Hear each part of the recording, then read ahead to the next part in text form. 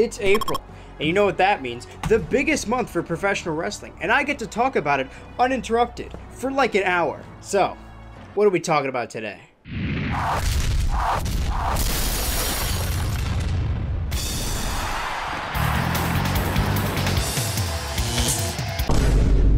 Can't do the rock eyebrow. Look at this cool setup. I hope you don't mind that I switched the chair and changed the jacket, the famous Natter jacket. Um, it's 99 degrees the day I'm recording this, and we don't have air conditioning. And also, if you see sweat on my brow, keep it to yourself. I love Cartoon Network to death because it's always been behind the two other big children's networks, so they try weirder things, like just throwing stuff at the wall, because they have less to lose. Yeah, CN Real was bad, but at least it was strange and weird. That's why I think a show like Teen Titans Go is really disappointing. It has nothing to do with the show, you know. It's more about it became so popular that they just stopped trying. I love Cartoon Network, and I'm incredibly nostalgic for the 2008 2009 era. It's famously disliked and it's probably just nostalgia blindness, but I don't think this era was that bad. That being said, they definitely made some decisions. You may remember such hits like 2009, the year they decided to not make any more cartoons and just make live action shows. 2008, 2009 era Cartoon Network started to get really into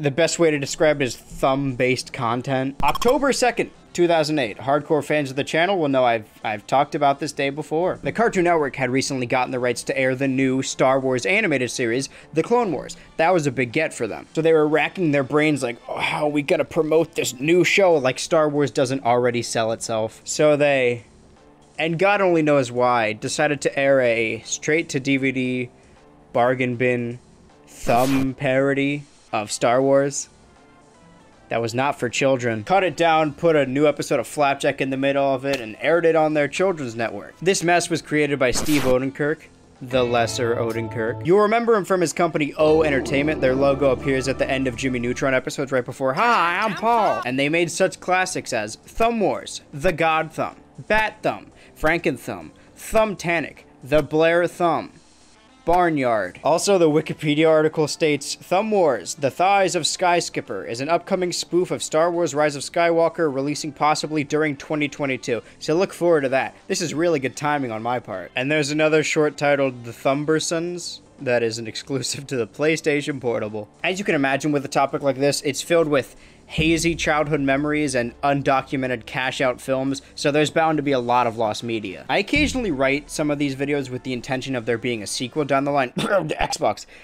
I didn't think Thumbs was going to be one of them, but the fact that I'm like setting out feelers like, oh man, if this stuff ever gets found, we may need an update on this someday. I've done extensive research into schedules to confirm what movies Cartoon Network did and didn't air, and I've come to the conclusion that The God Thumb never aired on Cartoon Network, even though I distinctly remembered watching it. Like, I swear to Christ I've seen it, but I don't know anything about it, so I, I that's probably not true. Let's start this early. Let's just put a counter up here for things I remember but can't prove. One of the Noods era I'm nostalgic for, oh yeah, 2008, 2009, this era was called Noods. Those little white guys run around. They're called Noods, N-O-O-D-S, didn't age very well. The Thursday night block, Har Har Thursdays, made up of mostly new episodes of Chowder, Flapjack, Total Drama, occasionally Johnny Test and 6teen. Also Goosebumps for a little bit. People didn't have a problem with that live action show. Why am I defending CN Real so? I don't even like it really. But that's what they did for Halloween. It's nice to see blocks like this themed for the holidays. For most of October, it became Scare, Scare, Scares Days. But for October 2nd, it became Star, Star, Stars Days. Welcome to Star, Star, Stars Days. Again, on the hunt, I found footage of this night, and thank God, because I, I don't think I'd be able to convince you it was real, and also it would drive me crazy. All the sound effects were switched with Star Wars sound effects, and that's about it. None of the new episodes were even remotely relevant to Star Wars. Like, I don't know what episodes would have been Star Wars themed, but when I think of Star Wars, I think of Lindsay getting eliminated for no reason. But like I said earlier, they did air something Star Wars related.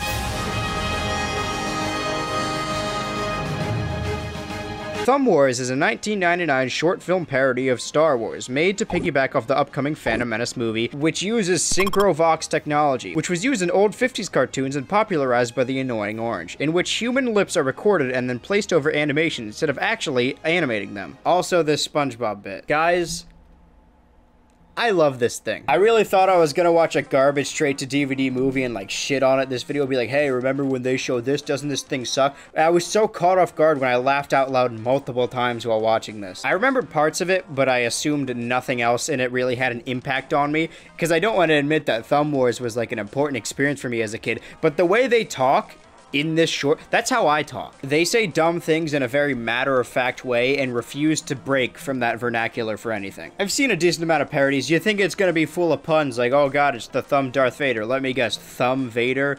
Darth Finger? His name is Black Helmet Man. Black Helmet Man. Well, what have we here? Princess Bunhead of the Thumbellian Resistance. Like, like that's his legal name. They keep describing things as freaky little creatures, and I just sat there like, huh, I do that. I must admit, the first time I met one of the thumbs, I was horrified. I found them to be freaky, disturbing creatures. They called the Jawas freaky little hooded creatures, and I thought it was just a funny throwaway line, but then they keep calling them that. No, that pod will take them straight to the desert, and the freaky little hooded creatures will capture and sell them. Ew, look over there. Some freaky little hooded creatures. I bought a couple of droids today from the freaky little hooded creatures. That's just what they're called in this universe. I also fully expected this to be just like a cheap cash grab because that's what I thought as a kid because it wasn't like super high budget. I mean, how was I supposed to know? I had faith in the children's television network that they wouldn't air someone's random YouTube video on their most important new episode block. But the prop, set, and costume designs are actually fantastic, like unironically. You could tell that a lot of effort went into every little detail of this movie. Like, people legitimately labored over this. And I wrote it off just because it's weird. I wish I could make something this good. Crying is for little girls, babies, and men who just had their ears ripped off. Like, what the fuck? Why is that so funny? I'm the target demographic. Luke, I am your mother! No! that man's a girl! Laugh! Wait, scan back. What do you see? Oh dear. Ah. What? beep boop beep.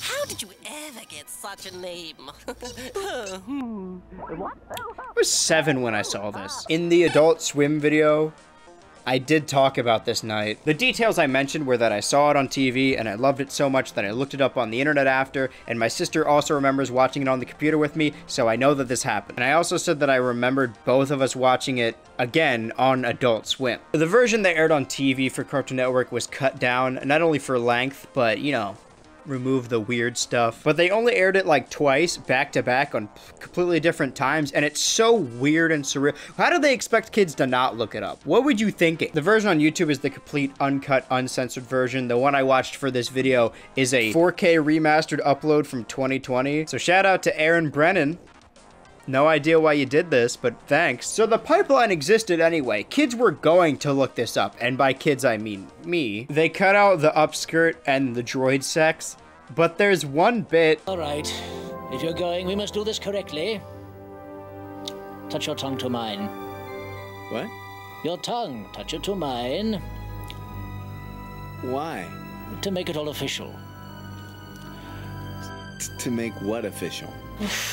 You know, all of it. Which they couldn't cut out because it's a reoccurring bit that comes back later, and it would have like thrown the plot all around, so they're like, alright, keep it. I feel in my spirit that I am to train under you, so I too can be a thumb master. Train you, will I? Train you, I will. Yes. Step one, touch your tongue to mine. So yeah, they had Oh my god. That that's the Yoda puppet. I kind of skimmed over this in multiple different videos, but I've brought it up multiple times. The story I remember is that me and my little sister were both in my room late at night watching Adult Swim and they aired Thumb Wars again and they showed the Yoda puppet and it freaked both of us out and scarred us for life. I thought I made that up. The Yoda puppet, I thought I was misremembering. I could never find proof. There it is.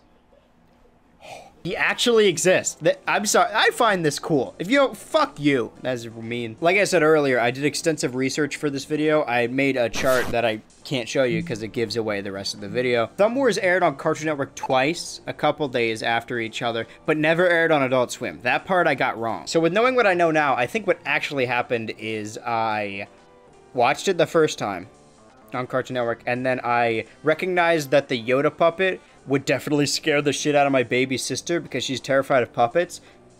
So I needed to show it to her. It wasn't in my bedroom like I thought, but I also thought it was Adult Swim. And nighttime when you're a kid is like 8 p.m. So it's possible I just watched it on the Har Har Thursdays night, and it was like, you know, late for a kid, and I just assumed it was Adult Swim or misremembered it. And we both remember watching it on the family computer. I just remembered it happening three times, but I guess it only happened twice. I knew the Yoda puppet was coming because it scared me, so I brought my baby sister down. I'm like, hey, you gotta see this.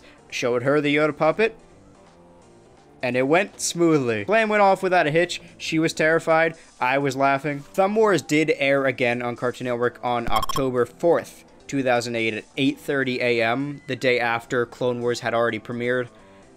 And I don't think I watched it, you know, 8.30 a.m., then it was never seen again. It does link up pretty well with the timeline that that Yoda puppet at the very beginning of October scared the shit out of us, because the rest of October 2008 it's about to get a whole lot worse. If you don't believe in ghosts, if you don't mind dummies, if you think nothing scares you, then think again. Really hard. Goosebumps, the live action TV series, had come to Cartoon Network from 2007 to 2009 every October. And no one had a problem with it at the time because everybody loves Goosebumps. And Out of Jimmy's Head had already come out, and people were like, oh, this sucks. And oh boy, maybe someday I'll talk more in depth about childhood trauma and, and Goosebumps I watched, but um, little boy me watching this dropped his drawers and shat his britches Ooh, no, bad lines. Out of fear, not out of like a rouse. I was scared. And then the Thursday after Star Star Stars Days, it became Scare Scare Scares Days. Said that earlier.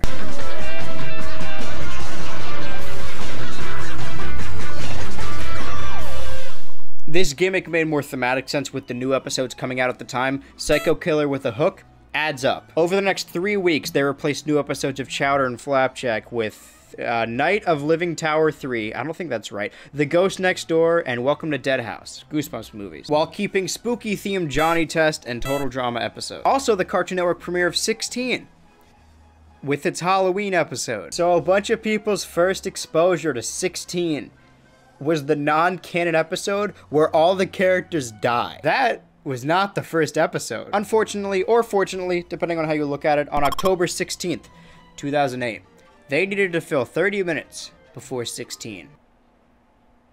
So guess what they aired?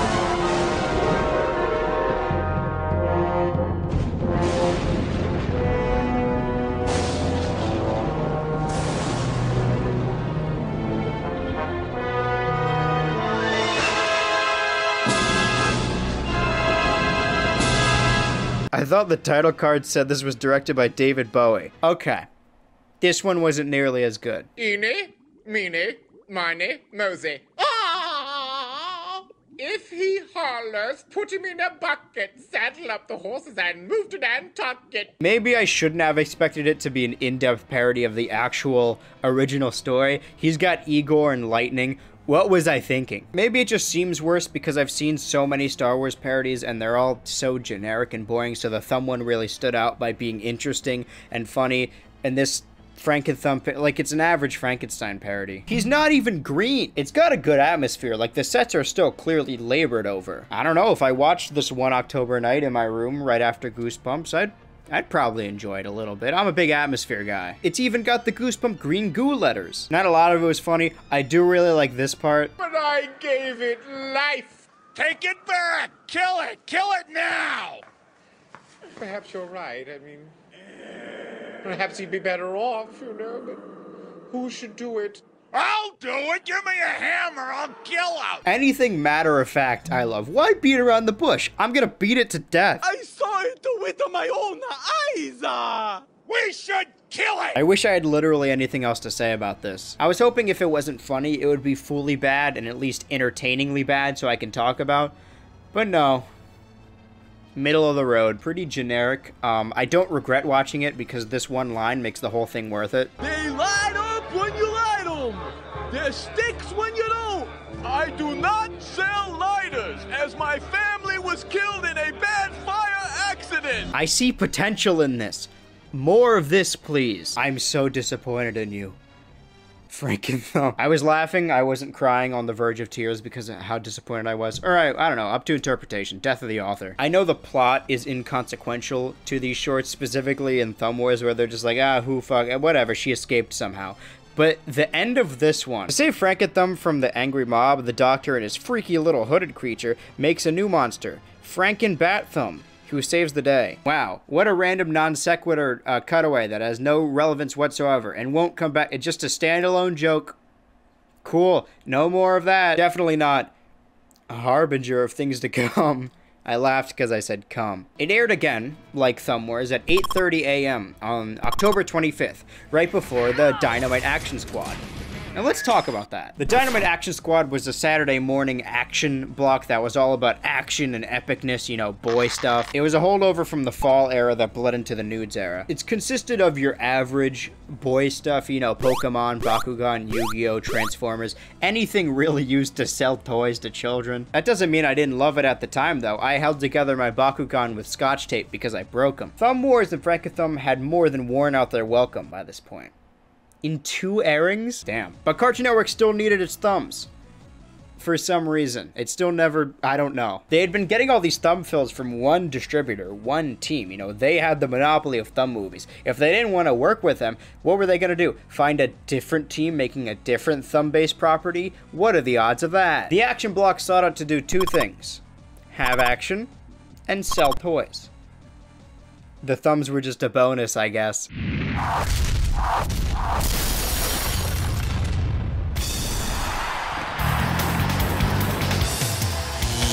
Here it is. The reason you're here, probably. The TWF, or Thumb Wrestling Federation, is a parody wrestling show based around thumb wrestling. You get it? Thumb wrestling? Thumb Wrestling. It was originally released in 2006 on the Kids WB and Nicktoons, but it's most remembered for Cartoon Network because of how tied in it was. We're gonna get more into it later, but it wasn't just episodes airing, it was bumpers, commercials, IDs, indents, they were everywhere. Unlike television episodes or movies on DVDs, bumpers in between commercials aren't archived nearly as well, if at, at all. That's why most of the lost media surrounding kids networks is little bumpers or blocks. These little thumb guys were all over the network for a year, and I can't prove it. Like, there's archived posts on forums, but no... I need hard evidence. So just know that a lot of what I'm going to talk about is lost media, but I'm not coming in empty-handed. I'm about to show you all the TWF footage I found tied to the Dynamite Action Squad. Check it out. Stick around for a new episode of 6teen. I'm so excited. That that's it. You were gone for like 15 seconds. Each TWF episode is about 3 minutes, which is not enough to fill a television slot unless you put a bunch of them back to back, but that's probably too much for a person. If you want to get people sick of it fast, that's one way of doing it. So instead, in between the new anime episodes, once a weekday, you would see a new fight. The Saturday morning wars could really be its own video and it'd be like multiple hours because the history of each children's network trying to get the Saturday morning audience, they went through each other's throats. The goal was to get as many children watching you on the Saturday morning as possible. And I mean, this worked like a charm. I recorded a lot of TV as a kid. It's a shame I don't have the recordings anymore, but I still made sure to tune in every time there was a fight because I didn't want to miss it. Little did I know the entire series had already been released on DVD at this time and was probably posted on YouTube so I could have watched it. But wait, Andrew, you just talked about Saturday morning, but you said previously that the fights would air every weekday. What? While it's true that one fight, one episode could not fill enough TV time, if you missed any of the fights in the prior week on Saturday, at the very end of the block, they would do the TWF weekly recap to basically run down what happened the five week days. The Monday to Friday block was called the Thumbtastic After School event that would air, you know, after school when kids are getting home. And then Saturday they would do the recap. So Sunday was the only day you could feasibly escape these thumbs. You would get off the school bus and run home and watch the cool thumb show. And yeah, you would miss the new episode of Chop Socky Chooks, but nobody likes that show. Also, the new 6teen, if that's important to you, they would recap the five previous fights over the five previous days. Again, most of this, and by most of it, I mean I haven't found any of it, but I, I don't know what's out there, is completely lost. And the forums and schedules I looked at and cross referenced say that it aired, but it doesn't say which matches happened on which days. So I'm just gonna assume they aired season one in order. By the way, there's five seasons of this show. It was big, which is why it's weird that I don't see more people talking about it. Like, it was a phenomenon for like a while. I remember at the Scholastic Book Fair, nobody wanted to get books, so they would always get toys or books that were tied to toys. And my one friend spent all the money getting this TWF book that came with a ring and the little things you could actually thumb wrestle. I got erasers and like ate them or something, or stuff them on my nose. I don't know. I couldn't get the toys. All I did was go to CartoonNetwork.com and play the Flash games. One of which is like, oh, the fighting game, but it's just rock paper scissors. And I used the OC maker to make my own thumb wrestlers, and then printed out hundreds of them at my grandparents' house till they ran out of paper. That similar story keeps coming up a lot in my childhood. I printed a lot of things. I was at the Gummy Bear friend's house, watch Adult Swim video for context. We were looking at pictures of Itsy Bitsy, the spider thumb character, on Google Images. I don't remember why. And I accidentally, instead of copying the image, saved the image to the background and then we would close the tab. I got jump scared because of how low quality it was. It was like a 240p image. It was completely pixelated and i'm like oh i jump scared myself. What was i talking about? So the schedule if what i put together is correct is weekly recap weekly recap weekly bat thumb. Oh no i spoiled bat thumb. You guys all knew bat thumb was coming. Come on don't lie. Please do not lie. Going off this assumption of that's what they aired i'm just gonna watch all of season one of twf and if anything changes moving forward i'll say it couldn't find anything else. Let's get into it. Each episode kicks off with commentary by Dick Thumbson, the straight down the middle voice of TWF, and Colonel Kosek, an amalgamation of Mother Russia mid 2000s memes, and right now is worst time to be talking about Russia. Hometown Huck is a poster thumb for the next eras. Good luck, Hometown Huck. He reminds me of my old friend, Hometown Vladimir. And they must think this guy's really funny because they keep using him to make like Family Guy style cutaway gags. The littlest big show on earth. You mean Vladivostok flea suckers? Never have I seen such large fleas! Colonel, I'm talking about the Thumb Wrestling Federation. The ringleader flea is particularly enormous! Answer me! Ah! He must have beaten many dogs! Rounding up, each episode is four minutes long. And they have cutaway gags. Speaking of Mother Russia, I don't mean to start a heated argument or debate about uh, the Thumb Wrestling Federation, but I never really noticed as a kid how many of these characters are just stereotypes. Buenas start my loving fans. Are you ready to play with fire? She's full of grace and in your face. Wasabi! Whimpering wallabies, Gary's using the Australian kangaroo pouch combo. Go ahead, partner, crush me. On my honor, a gentleman never attacks without being attacked first. Well, us country boys don't shoot till we see the whites of your eyes, so I ain't making the first move. Just like real wrestling. Similar to how real wrestling has baby faces, good guys, and heels, bad guys, the TWF has Sinistras and Dexteras. The logos are evidently based off the Decepticons and Autobots from Transformers, and it makes sense to have a good team and a bad team so that each match can have a good guy and a bad guy, which is pretty intrinsic to wrestling. However, not all characters are created equal. You get good guy characters such as Vinny Vinny Victory, the charismatic cool guy from Boston who wins all the time. That's his gimmick. He wins all the time. It's John Cena. Hometown Huck, who is the generic hometown hero to every town in existence. Ouch, who is the scam guy from that chocolate episode of SpongeBob. Ouch! I think I just swallowed my tongue. Ah, I just swallowed my tongue ring. Evil Ira, who is a cool design but isn't actually evil. He just does magic, I guess. And Dorsal Flynn, a comedian who is based off of. Holy me, see? Oh, I get more laughs inside a shark's stomach, see? Huh? Sharks can't laugh. Get it? How could something that came out when I was a kid age so poorly. Also, you get villains like Senator Skull, the main mustache-twirling villain, the big time, a guy so cool that the fans cheer him despite being aligned with evil for some reason, and Fuego, the only reason I know what fire in Spanish is, and the Visitor, my favorite character as a kid. I think he sucks now. Each character has a signature move that normally transitions into the finish of the match and the end of the episode, but they don't call them finishers. Okay. Sometimes they don't even wrestle. The TWF wants to have both wrestling of good guys versus bad guys and have tournament rules so they because they constantly need good guys versus bad guys every other match. If a good guy won the last one, then a bad guy's gonna win this one. Bad guys have to keep winning as consistently as the good guys, even if they cheat. Imagine if in the 80s Transformers show, every couple episodes the Decepticons won and they're just like, oh, they uh, they killed Bumblebee this episode. Sorry. The most realistic professional wrestling thing in the show is how many jobbers they have. Enhancement talent that gets fed to the main characters, so the main characters don't have to lose. I feel like I need to keep reminding you guys that this show was made in the late 2000s because it's made of 80s wrestling tropes and like 80s Transformers, and one of the villains is just like a He-Man villain. Their knowledge of wrestling does not extend past the 80s, which to be fair is where most people's wrestling knowledge is. It's very clear from the beginning of the show that the budget of this one is nowhere near the Thumb movies. And I don't mean literal budget, I'm sure they made more money in the long run. I mean like production value. The production value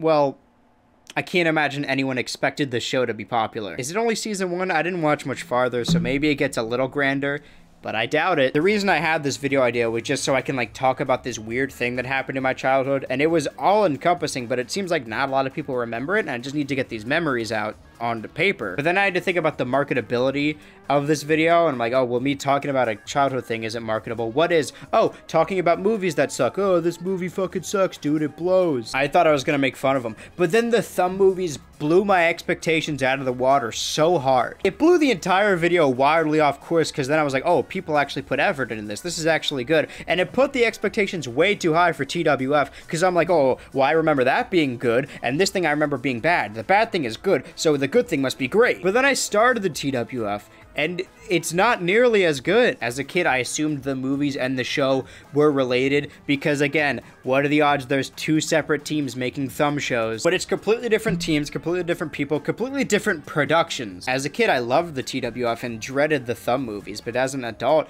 I like the thumb movies, and I think the TWF sucks. I think Coolsville sucks. The only thing I remember is 4, 3, 2, 1, who will be the strongest thumb? And boy, did I remember it. And I'm not even here to be like, oh, the thing you liked as a kid is secretly bad, because nobody cares about the TWF in 2022, and I think kids media can be better than most adult shows. But this show reeks of what boys like. There's snot, there's puke, they fart, they yell. I just wanted to talk about weird thumbs and kind of shit on them, but then the thumb movies knock me in the fucking head. They're like, hey, they put my expectations way too high. I should rewatch Back at the Barnyard. I looked at the DVD menu and the Wikipedia page to confirm what was happening. I watched season one, but around episode 17, which is like halfway through season one, it becomes the Thumber Summer event, and like everything changes. Hopefully you're seeing this. The thumb schedule I set up, doing the math of, okay, each five weekday. The 17th episode is where it ends off before Bat Thumb anyway, so that's where I was going to end off. But that's when, like, a big change happens, so I assume that's post-Bat Thumb. But if I'm going to review the first batch I watched, nothing happened. Like, it's a tournament rule, and so they need to get the good matches for later in the tournament. But because of that, each character needs to fight a jobber that has nothing to the plot, so each match is predictable. Not that I'm like, oh man, the integrity of the TWF. Like, I know the winning doesn't really matter. Uh, it's about comedy, but it's also not funny. I don't have a lot of memories. I just remember it being good under the umbrella of liking it. So maybe all the episodes I remembered fondly are under the next batch because the first batch just sucks. So we can watch the second batch. But first...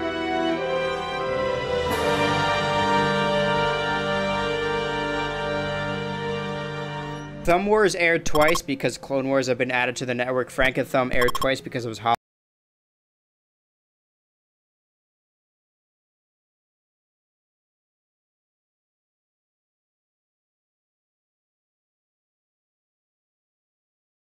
Cultural zeitgeist of Batman changes every couple of years every time we get a new Batman movie. So you can see a parody of Batman and tell which Batman they're parodying, like which one came out that era without even knowing the time period. This short film was made way before the Christian Bale Batman, uh, but the Bruce Wayne in this does like a perfect American Psycho impression. Bruce, I must say, you have outdone yourself this time.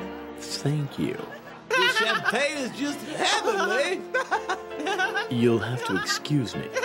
like, that's crazy. How could they have known? All right, this one isn't as funny as it is uncomfortable. I do think it's intentional, though. Uh, you're a little close. Sorry. You're closer now. Oh. It just fails to land properly. And hey, if you're wondering if this one also has weird sex stuff, Morning. I'd like to make a deposit. Um, money. I'd like to deposit money. I- I'd like I'd like to deposit money in your bank. There's a big portion of the opening made up of these two having sex. Uh, they don't show it. Course, they don't show. Yeah, no, sorry. This short film has full frontal thumb nudity and penetration. It's all implied, but I don't remember this part at all. To be fair, I don't remember a lot of Bat Thumb, but I'm fairly certain they cut this part out of the airing. But it's like a substantial amount of time. Like it's most of the opening. There's a bank robbing scene, and the main villain of the piece is shown only from behind, and I'm like, oh, okay, it's gonna be like a Joker pun or whatever. What's the thumb pun for this one? And then the longer he kept his back to the camera, I realized I did actually remember one thing from Bat Thumb. No face. Come to the station, No Face. It's over for you. Oh! He has no face! This is ingenious because not only is it a funny joke on Two Face, like, oh, he's got no face, but they save on budget because they don't need to do the thing to his face where they put lips over it. It could just be a thumb. Great idea. And funny. The fact that they cut corners with this and also his big scheme is to remove everyone's faces is way funnier than anything in the actual film. I remembered him existing, I remembered the pun. I didn't remember him having the voice of Carl Wheezer. For me, it is a sentence to grow up being laughed at, cruelly teased. I, No Face, ask you to welcome me and my new bride to be.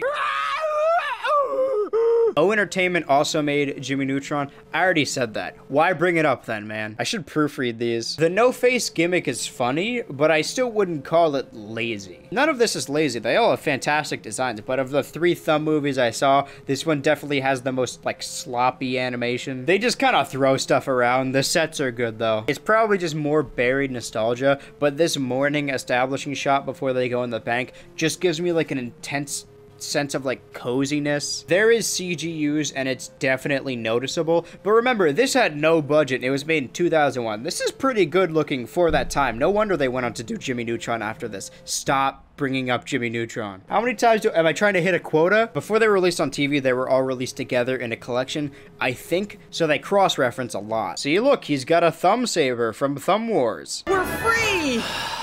Come, Blue Jay. Come Tuesday? I wish I had more to say about this. It's not, none of the Thumb movies were bad. It's just kind of boring. Not a lot happens in it.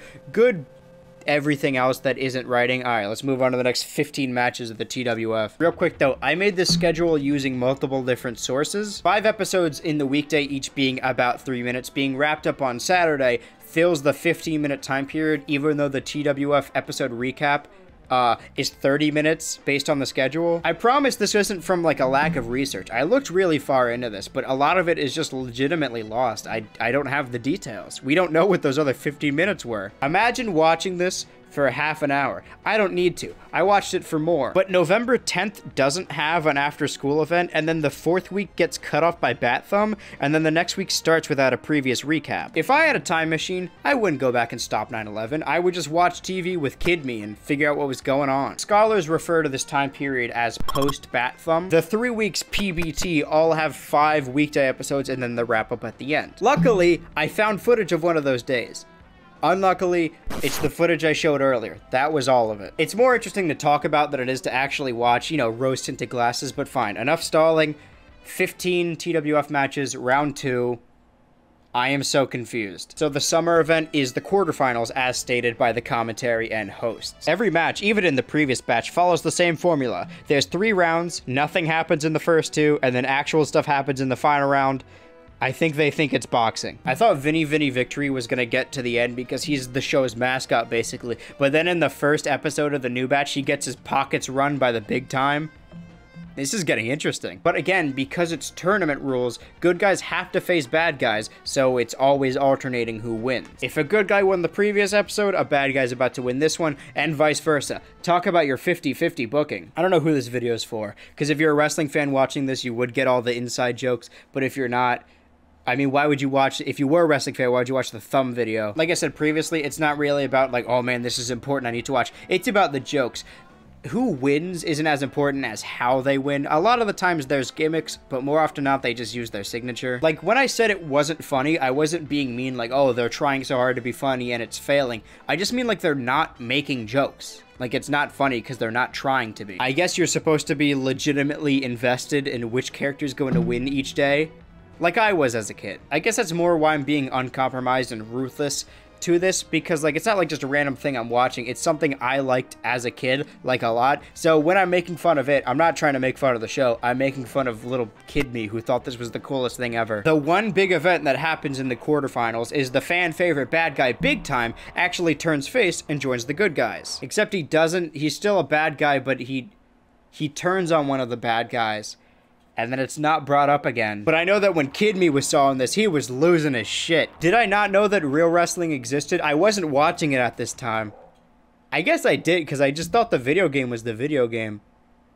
You know what? The opening I did like a bit like, oh, let's talk about real wrestling. I love professional wrestling, and then talked about Thumb Wars, and that's the joke. But if I'm looking at, I didn't even think about this. TWF is probably what got me into professional wrestling, aside from the video games, because that happened way sooner to me actually watching than playing the games. Holy shit. I was even more surprised the second time around because I had set the bar so low again. It didn't occur to me while watching that any of these characters could have depth if you want to call this depth. And it would have stood out more had Evil Ira not also turned to the other side the next match by dropping a piano on Enfuego's head. Classic double turn. So now we're in the quarterfinals, the final four, and it's starting to get really interesting. If you're me and Seven. It isn't clear if the big time is actually good. He just won it out of the evil team, and the fans still love him. But again, not really brought up after this. Evil Ira, on the other hand, has finally lived up to his name and cheated to advance to the semifinals. Boyhood Dream Hometown Huck is still unwaveringly good and continues to connect with the fans. And Wasabi sucks. They make a big deal about Evil Ira now being evil because she cheated to win, even though Wasabi does the same thing. The big time interferes and turns on Senator Skull. We knew that, but he cheated and Wasabi win. Like, he's the reason Wasabi wins. She didn't win fairly either. And you could say, well, Andrew, he was evil. It doesn't count if you're cheating to be evil. But Enfuego is a bad guy. Justice for evil Ira, okay? All right, now I'm getting heated about this. The semifinals kick off with Hometown Huck versus Evil Ira. And this episode is about six minutes long, and they're only going to get longer. This is because it kicks off with an Evil Ira press conference where he states his new home is with the Sinistras. Well, there goes all the intrigue in this match. And then he just loses. You hate Omaha! I hate, uh... No, Huck! You don't hate Omaha! You're being hypnotized! Ugh, hypnotized? I love Omaha! Next match, Big Time versus Wasabi. Has the same story, except with more depth. He's still technically a Sinistra, even though he turned on Senator Skull, who is still cheering for him at the beginning because, uh, who cares? No one's watching the show. It's not like some adult is going to come back and watch this and review it in 14 years' time. In retrospect, they didn't need to turn evil Ira. I thought it was like, oh, okay, there's too many good guys, so they need to make one of the good guys bad. But he turned bad by beating a bad guy. Like, they could have just had Enfuego win. I like this episode because the big time beats Wasabi. I hate Wasabi. It's the second to last episode. It's mainly just here to set up the finale. There's a crowd member named Pinky who keeps interfering on behalf of the good guys, but it doesn't count with their good guys. And he announced his feelings for Wasabi, and she reciprocated. Big Time made fun of him the whole match and then killed his new girlfriend. The finale is 10 minutes long. And I would almost be okay with it because it's the finale if a majority of the time wasn't taken up by Bill Cosby thumb, also Pinky. The episode I'm watching from the DVD, a decent amount of it is just a recap, and while it is lost, I wouldn't be surprised if the weekly recap each Saturday was just footage from this specific episode. They didn't produce the show, so it makes more sense for Cartoon Network to just reuse this footage. That's what they did for Total Drama. Hometown Huck comes out the winner with the help of Pinky. The crowd member. So I guess we're all good with cheating, huh? This is how Huck became my favorite thumb wrestler. The way he just took big time strongest attack and then gave it everything he had left was nothing short of amazing. This was my favorite match, lol. Hometown Huck surviving the time bond still blows my mind. This was an awesome match. The second in commands on both sides going at each other was quite amusing. These comments were made recently. I feel like I'm missing something. The only thing more fun than wrestling is math. Let's do some math, shall we? At this point, I have no idea what I'm supposed to be watching. If each Thumbtastic after school event is the same length of three minutes, some of these episodes aren't three minutes, so do they get cut into two in multiple days, or they get shortened down? And what about the 10 minute one? If I split these into two, I have six more matches to watch. If I don't, I have nine more matches to watch. The first nine consist of all the first round matches and something called the Royal Thumble, which I am excited for. I need to stop getting my own hopes up. I know what's gonna happen. Watching nine episodes makes more sense because it ending with the Royal Thumble, you know, adds up. So I'll just file this under unproven. I do honestly hope some of this gets found someday. I know I don't have huge reach, but if this has any impact on anyone and you're watching this right now and you happen to have recordings from this time, hit me up or post it somewhere because again, they aired the thumb shit all the time. Every new season, we get new characters, and you could tell which new characters are their actual new characters um, by just looking at them. Also, they're the ones who win. Yet again, the qualifying rounds is made up of the actual characters they like beating filler characters. The first season was filled with jobber filler, and this season's no different. The first match consists of new wrestlers Mr. Extremo and Billy Goat Goateski. I'm trying really hard not to say Goatsy. So try and guess which one they want to move on and become popular. Also, Yowie wowie! New characters like Mahi Mahi Mindy, which I feel has to be offensive somehow. And Rolf the Reaper, which is basically the same design as Senator Skull. I guess they ran out. But he's billed as dangerously depressed. So he's my new favorite. He doesn't win. Feed a jobber to Itsy Bitsy, feed a jobber to Evil Ira, Canadian stereotype, feed a jobber to Enfuego, feed a jobber to Wasabi. Not only did I already dislike Wasabi for being a cheater, but the character she beats is named Dwayne Bramage. That's the best name I've ever heard. And they use him once. He's my new favorite. Why couldn't he win? Then Vinny beats a pirate or something. Hey, check this out.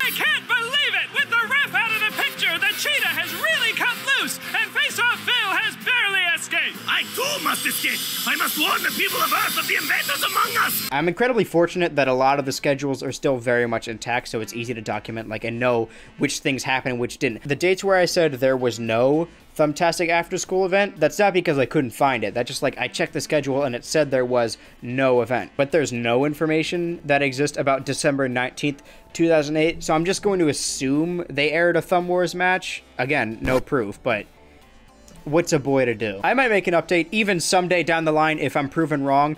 I refuse. I'm never wrong, even when I am wrong. Can we talk about the Thumble now? I've been dying to talk about the Thumble. I know I said I didn't want to get my hopes up, but I'm actually really excited. The actual Royal Rumble in WWE is used to have a bunch of characters interact all at once, which will be really good for the TWF because most of them are one note. And when they're relegated to a small section for a couple seconds, they're going to thrive way more. It's time for the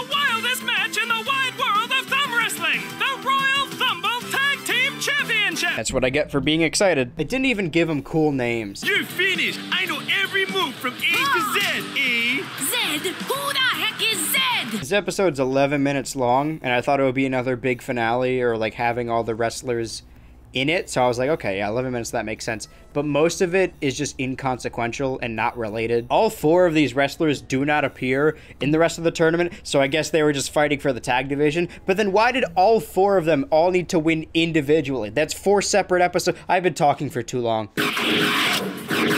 Hey! You can't stop us from tagging out in the fifth dimension! Oh shit, it's Stardust. We kind of get what I wanted. There's a bunch of characters brawling backstage. Attitude Era style. Now we're getting the real rumble. Hey, here's my review. The good guys win and I wasted 11 minutes. So now I've officially watched all thumb-based content that allegedly aired on Cartoon Network. But there's only three episodes left in season two. I could easily watch them. I won't, but I could. Maybe I'm being too hard on the show, but you would think it would at least be a little good considering how popular it was and all encompassing it was. It's kind of like Johnny Test or Teen Titans Go. Like, the shows aren't terrible, but it's way aggravated because they're on all the time. I'm making assumptions, but I don't think you're fully grasping how big this was for months every day except Sunday, there would be TWF content. And from this point on, it only got worse or better, depending on how you look at it. By late December, both the Thumbtastic After School event and Dynamite Action Squad blocks had run their courses and ended. But Cartoon Network refused to go without a Saturday morning action block, so what would it be replaced with? Next Saturday morning at 9.30, part of Saturday Crush Zone. Only on Cartoon Network. Saturday Crush Zone, a Saturday morning action block themed entirely around the TWF. You thought we were going to be done with the thumbs, but they've only become more prevalent. You'd think that the time period we just talked about was like really long, you know, Frankenthumb, Thumb Wars, Bat Thumb, two seasons of TWF, but in reality, that all happened in the span of like two months. The TWF Saturday Crush Zone lasted for 10 months. Oh no, this video is gonna be way too long again. Why would I spend so much time talking about two months in depth when I have 10 more months to talk about? Well, and you're going to be upset about this. Like I said before, and I'll say it again, the TWF series had DVD rips and it was on YouTube, and the Thumb movies were also on YouTube and had their own DVD release. They are short films and episodes for television. The TWF Crush Zone is themed around the TWF, but only bumpers. Like, it's all over the branding, but that's all it is. It's just branding. It's way harder to cover or archive blocks or bumpers because they never put in the care to properly archive them themselves. Like maybe only I care about this, but how cool would it be if you can go on Disney Plus and watch like the library of all the previous bumpers and commercials they made. Same thing with like HBO Max and Cartoon Network. There is still a decent big cool internet community that are all together trying to put these pieces together. And I wouldn't say I'm a part of it, but I've been commenting other everyone's TV rips saying, oh, this is when this happened, this is when this happened, because I figured out all the schedules once and then it's stuck in my brain. So this wall of 10 months of weekly content, uh, I don't really have anything to talk about. Like, I know it exists, but the thumb content's just lost. Except October 17th, 2009, the third to last thumb-themed broadcast on the network. I found some footage. Welcome back to this new episode of Pokemon Diamond and Pearl. Oh boy!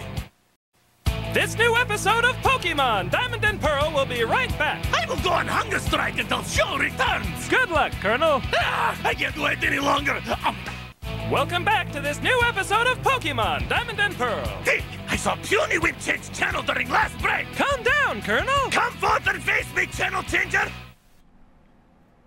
I mean, yeah, that's it. But how cool is that that we found it? To that one kid from 2009 that decided to record the new Pokemon episode and upload it, I thank you. But you see what I mean now. Thank God I had the evidence. It's mostly just snippets in between episodes. I mean, what's there to talk about? I gotta say, though, I've been taking it for granted. When I was watching season one, I was just sitting there thinking, oh my God, when is this gonna be over? I don't want to watch TWF anymore. But now that I can't watch the Saturday Crush Zone, and I may never be able to, it bums me out. I would gladly watch more TWF if I could just watch the lost media. And that's really what this whole video is. I've struggled the whole time to find a point, like whether I was going to review them, talk about them, but it's a retrospective. In reality, I just wanted to talk about these memories. I needed to make this public and tell my story so that other kids my age could also potentially share stories. I'm making it sound like there's like an abuser going around. October 2009.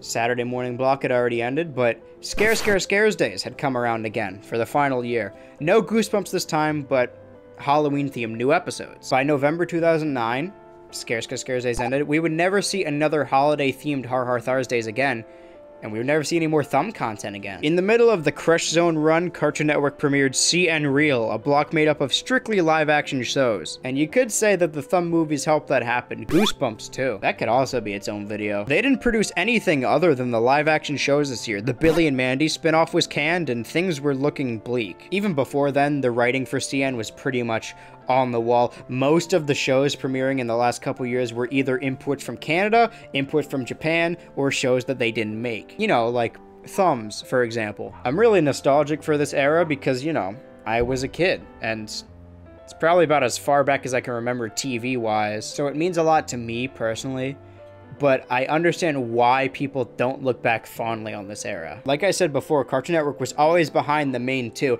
but only like a little bit behind, and it was fun to watch them do risky stuff because they were the least popular, but I never wanted them to go out of business. Like, unpopular is cool, but not like under the water unpopular. Har Har Thursdays ends April 1st, 2010, and along with it, the Noods.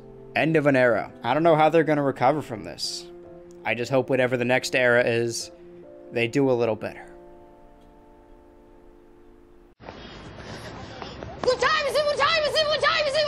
And then after the Noods ended, in the span of three years, they premiered regular show, Adventure Time, Gumball, Steven Universe, a new season of Total Drama. It was a far cry from the thumbs of yore, but it was undoubtedly better. So yeah, that's it. Just wanted to talk about thumbs. It's cool the way it works out schedule-wise is that it started like the first thumb premiere happened October 2008 and the final thumb premiere happened October 2009. For an entire year, Cartoon Network aired thumb-based content. And I don't know, people have talked about it, but an entire year. It seemed weird. I was nostalgic watching some old commercials because I did the um, April Fool's broadcast. And I was like, okay, well, I might as well do this. If you came here because you wanted more Xbox content, oh, whoops, you got the thumbs. Ah!